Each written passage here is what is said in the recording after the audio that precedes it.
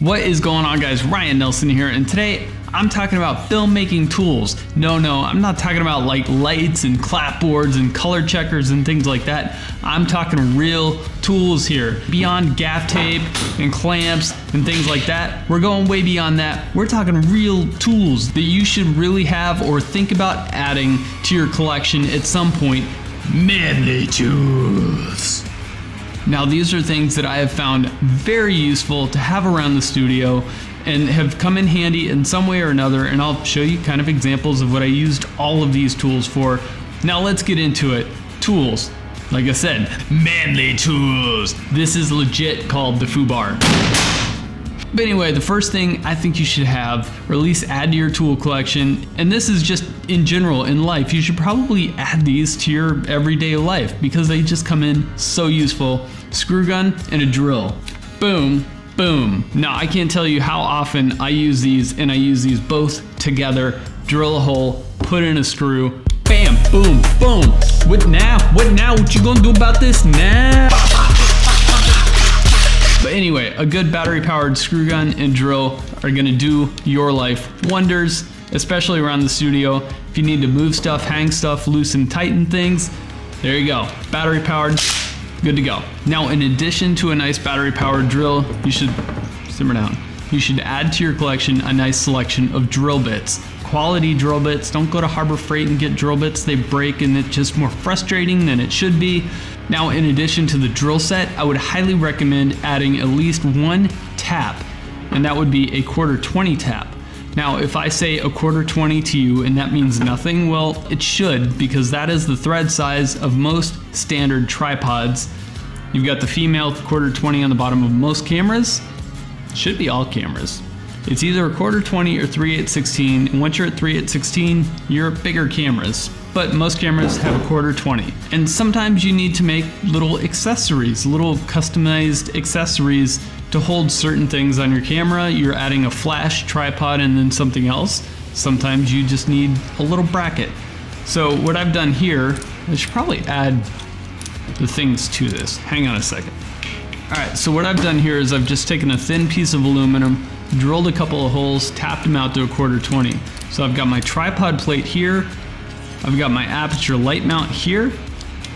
And then I've got a little tripod screw here. Again, quarter 20. Turn that on. Pop that right onto a GorillaPod. Don't have my GorillaPod on me. Let's go grab that. Just pop that right onto my GorillaPod. Now I've got myself a nice little vlogging rig with a light in case I'm vlogging out on the street at night. Boom, I'm lit up. See, with the light, without the light. Maybe I should do that with my light off. Main light off. Haha, okay. With the light. Without the light, how's that? That's pretty cool. The third tool that I would recommend getting, and this isn't quite a necessity, but it does come in really handy if you're working with little metal strips, aluminum, steel, anything like that, is an angle grinder.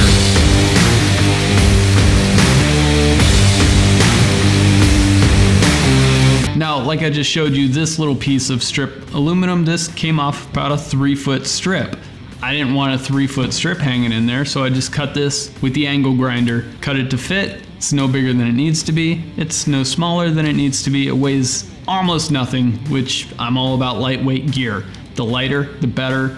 You don't want to be carrying around so much extra gear that you don't actually need. So a nice angle grinder will allow you to cut metal if you have gear that just has extra superfluous stuff on it, cut it off. You don't need it all. Now a prime example of this, I'd made myself this camera slider and I wanted to make it as light as possible so I could take it backpacking with me. Now this whole thing's about four foot long and this tray, the slider, was about twice as big as it is now. So I just took the angle grinder, sliced half of it off. I didn't need it. I made this as light as I could. I could probably still make it lighter, but it's pretty light for what it is and what it can do. Battery here, tripod head, camera here. I'm good to go. This is pretty light, straps to the back of my backpack. Pretty good. Once again, I made all this myself.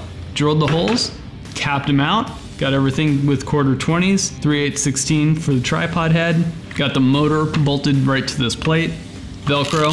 Velcro's pretty handy too. Boom. Battery sits there, timer, Anyway, this slider was made with basically three tools drill, tap, and then a grinder to cut this metal. Pretty easy.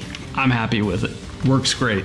So in addition to this slider, I mean, there's a lot of screws on this thing that sometimes come loose, sometimes need to be adjusted. A good multi-tool.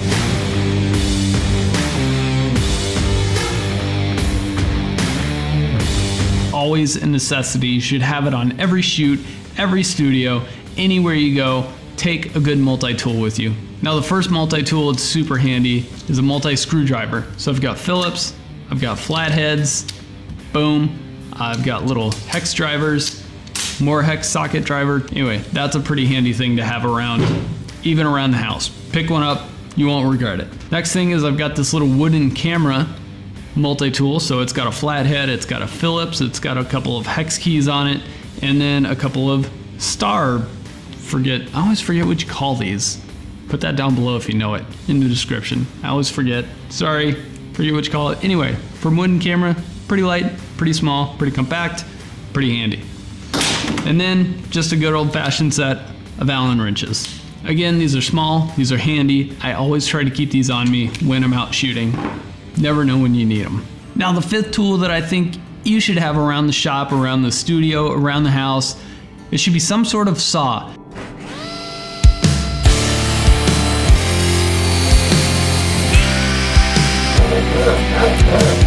Some sort of saw, table saw, hand saw, circular saw, band saw. Didn't mean to rhyme there, maybe I did a little bit. Anyway, any of these saws are gonna be super helpful in just building sets, making things shorter. Now, I use saws all the time when I'm doing product photography, when I'm staging places. If you're doing a set and you have a row of products and you need to do something behind, uh, little boxes like this, little blocks, cut them to size, make them fit, make them hide, make that product stand out behind the other product. Now this is used a lot in catalog shoots with bedroom sets. You see those pillows, they're always so perfectly stacked. They never look like that. There's boxes under there to tier the pillows and make them look better. That's how that's done. Just a little trick for you. That's how that's done. All right, that's my five tools. But but wait, there's more. There's more. I said five. I'm gonna throw in six. You get a bonus one for sticking around. Six. Get yourself some telescoping sawhorses.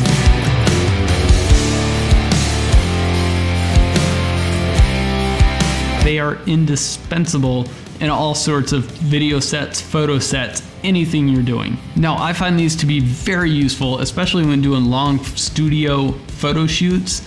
You're trying to like set these little sets and you've been over, you've been over all day.